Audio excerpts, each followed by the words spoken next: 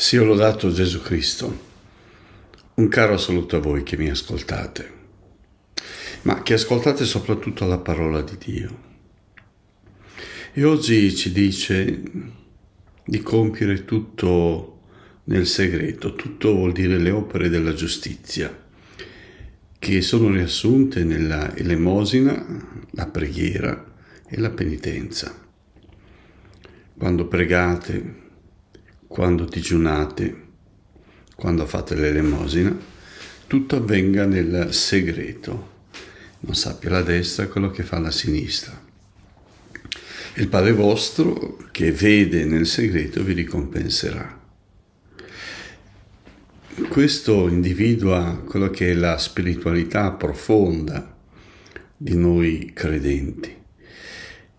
La spiritualità profonda è quello che ha una motivazione di opere che sono quelle della giustizia. La giustizia, nel senso più ebraico della parola, sono le opere che provengono dalla volontà di Dio.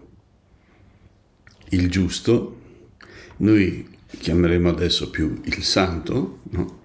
Santo è il purificato o colui che è puro. Il giusto è colui che compie le opere secondo la volontà di Dio. Dunque le opere della giustizia sono le opere che sono di Dio.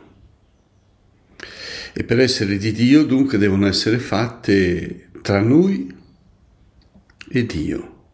E la motivazione è essere graditi a Lui e compiere quello che a Lui consono, essere noi i mezzi di raggiamento della sua volontà di bene per gli uomini che si serve delle nostre libertà, la nostra volontà di compiere il bene.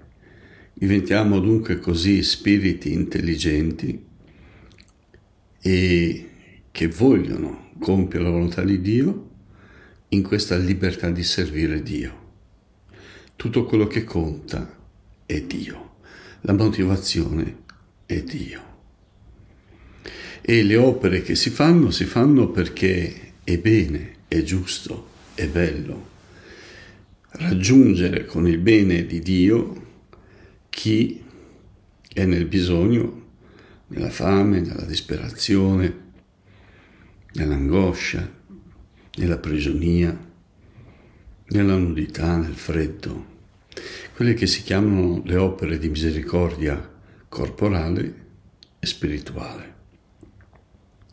Queste, queste opere dunque sono fatte per amore del prossimo, ma la grande spinta, la motivazione, il motore interiore è Dio che opera in noi ed è opera di giustizia, dunque anche di santità al fine compiere ciò che Dio ci chiede di compiere, per dare gloria a Lui.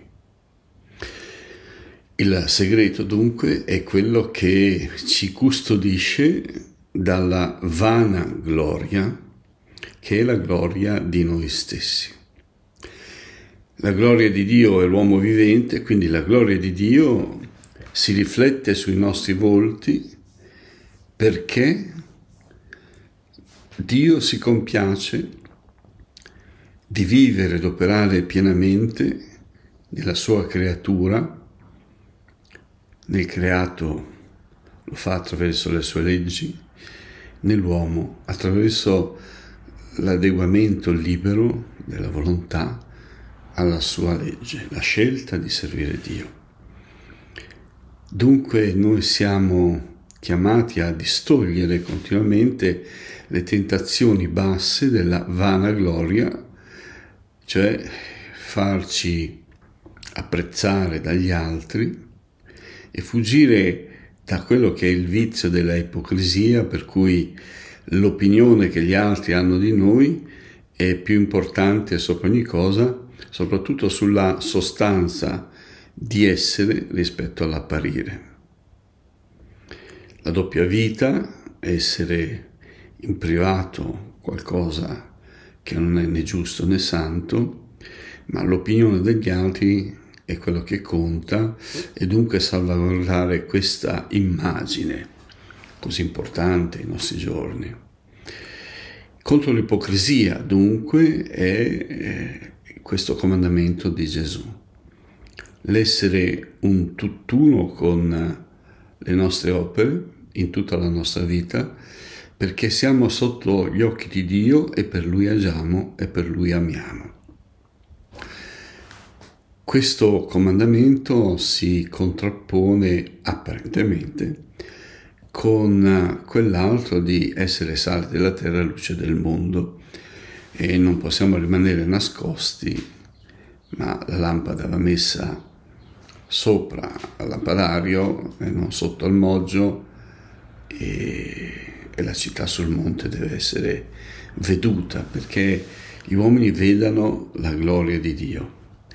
Ma questi atti di giustizia o di amore che sono pubblici, sociali e a volte anche di grande livello, in realtà sono intrisi, nutriti da una fitta corrispondenza segreta con Dio che è molto più ampia, è molto più densa, molto più quotidiana di quello che sono le singole opere che noi possiamo fare. Ci sono momenti, tempi e volontà di Dio in cui le nostre opere devono essere esposte, devono essere viste perché la gente dia non a noi gloria ma a Dio. E questo è quando Dio lo chiede. Gesù spesso fa miracoli e impone il silenzio. Poi ci sono altre situazioni in cui il miracolo è pubblico, laddove deve essere ben chiaro che è l'opera di Dio, deve essere ben chiaro che è Lui che agisce, perché ciò è messo in dubbio o perché l'idea di Dio si sta dissolvendo o è annebbiata o è addirittura coperta. Dio sa quali sono i momenti e le cose che devono essere messe in luce ma la motivazione nostra segreta è sempre la più importante perché costituisce il nostro motore interiore alle opere di bene. E conservare questa segretezza fa sì che anche quando ci sia un'opera, possiamo chiamare pubblica, noi sappiamo distogliere molto facilmente l'interesse, l'ammirazione o l'attribuzione del merito da noi a Dio, senza cadere in quella falsa e untuosa umiltà che è ipocrisia, che è vanagloria, che è sempre nel nostro cuore come tentazione.